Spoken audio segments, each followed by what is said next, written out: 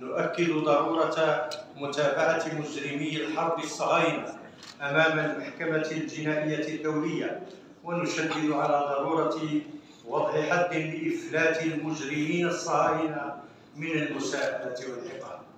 كما ندعو برلمانات الدول الأعضاء إلى بذل الجهود الممكنة من أجل المرافقة القانونية لكل المساعي التي تهدف إلى متابعة الاحتلال الصهيوني ومجرميه وتوثيق جرائمه أمام القضاء الدولي.